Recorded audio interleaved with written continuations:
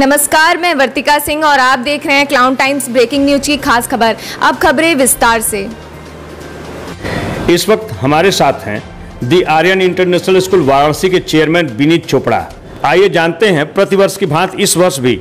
CBSE बारहवीं की परीक्षा में आपके विद्यालय के विद्यार्थियों ने अन्य विद्यालयों की तुलना में सर्वश्रेष्ठ प्रदर्शन किया है। इस कामयाबी पर आप क्या कहना चाहेंगे? सबसे पहले तो मैं सारे छात्रों को बधाई देना चाहूँगा।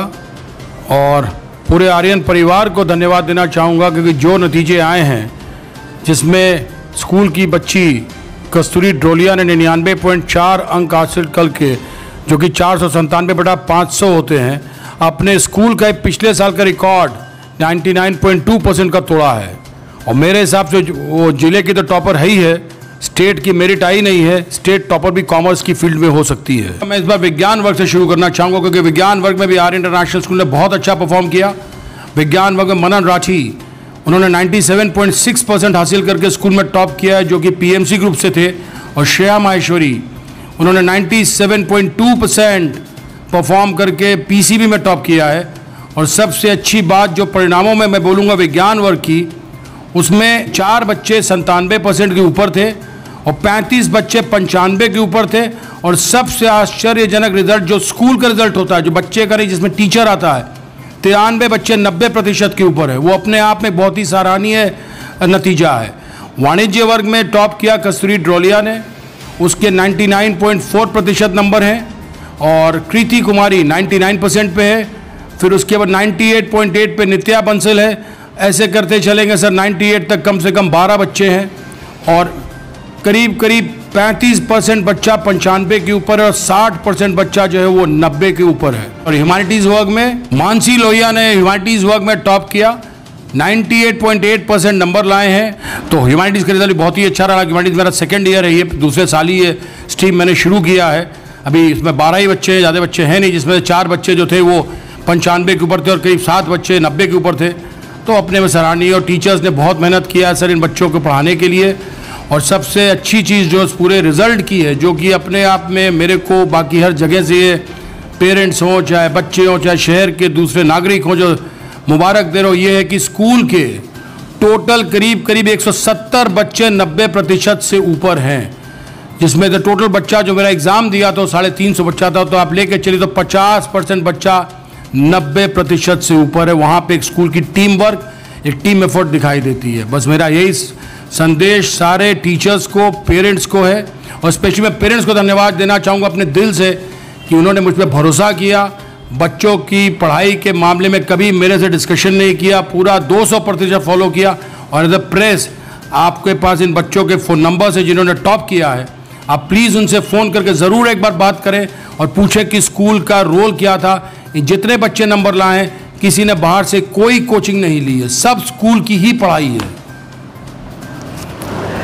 चोपड़ा जी, प्रतिवर्ष बोर्ड की परीक्षा में दी आर्यन इंटरनेशनल के विद्यार्थियों के सर्वश्रेष्ठ प्रदर्शन को देखते हुए अगर बनारस के टॉप फाइव विद्यालयों की फहरिस्त की बात की जाए तो आप स्वयं को कहाँ पाते हैं?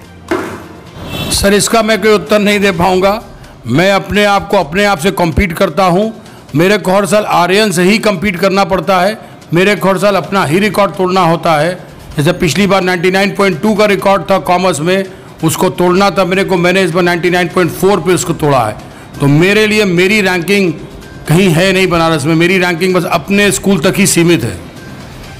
कोरोना काल में आर्यन स्कूल अपने विद्यार्थियों को क्या संदेश देना चाहता है? अपने बच्चों को ये संदेश देना चाहता हूँ कि ये घड़ी ऐसी है जिसमें सबको हाथ से हाथ मिला के चलना होगा संयम से काम लेना होगा और सबसे मेजर चीज़ जो है अपने बुज़ुर्गों का घर पे बहुत ही हिफाजत करनी होगी और इरिटेट नहीं होना है पेशेंस रखना है और किसी चीज़ पे रिटालिएट नहीं करना है। मतलब बड़ी सहानुभूति से काम करना है।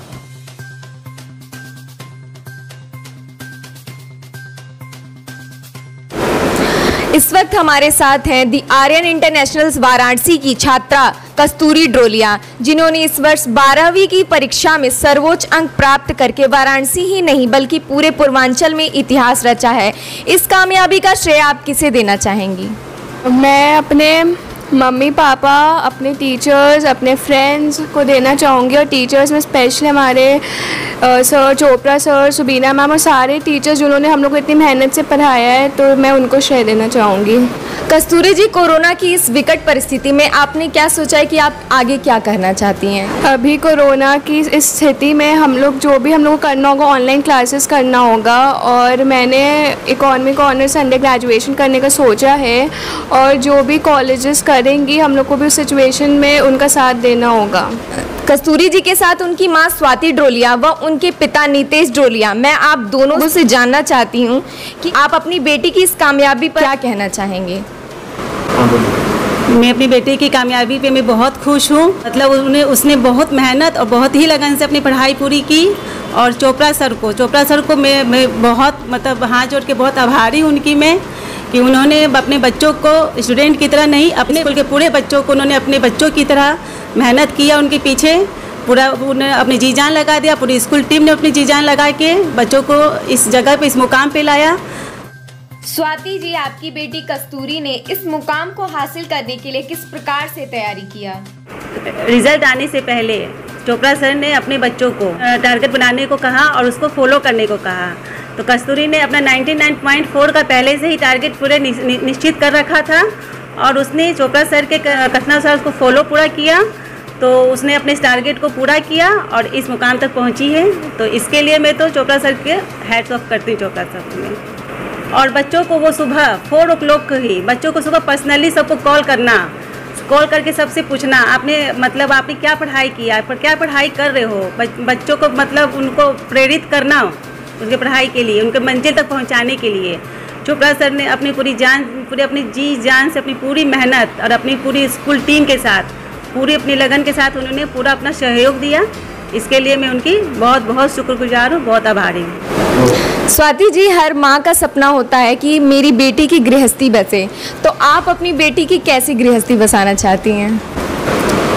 मैं चाहती हूँ मेरी बेटी नहीं पूरे देश की बेटी। अपने पैरों पे खड़े हो और उनका जो सपना उन्होंने जो सोचा वो देख रही है। उनका वो पूरा हो और इस दुनिया में वो अपना एक मुकाम हासिल करे और अपनी एक जगह बनाए। मैं नितेश डोलिया कस्तूरी का पिता। मैं बहुत खुश हूँ। आज कि मेरी बेटी ने ये मुकाम हासिल किया अपनी लगन और मेहनत से। इसमें विशेषकर योगदान इसकी मदर का है, इसके टीचर का है, इनके फ्रेंड्स का है, बाकी मेरी पूरी इंटायर फैमिली का है, चोपड़ा सर का है, जो जिसको, जिनको मैं सभी को धन्यवाद देता हूँ। नितेश जी आपका व्यापार क्या है?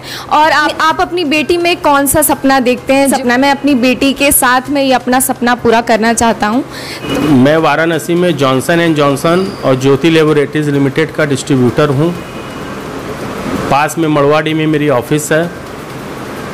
मैं अपनी बेटी के लिए ये चाहता हूँ कि वो पढ़ लिख के आगे बढ़े अपने पैरों के ऊपर खड़ी हो और उसका जो सपना है वो पूरा हो। मैं तो चाहता था कि सिविल सर्विसेज़ की परीक्षा में जाके ये वहाँ भी टॉप करे और पूरे देश को पूरे देश का नाम रोशन करे और पूरे देश के लिए कुछ करे। लेकिन ये उसकी मर्ज़ी है। उसको क्या करना है? कस्तूरी जी आपके पिताजी का सपना है कि आप सिविल सर्विसेज़ में जाएँगी।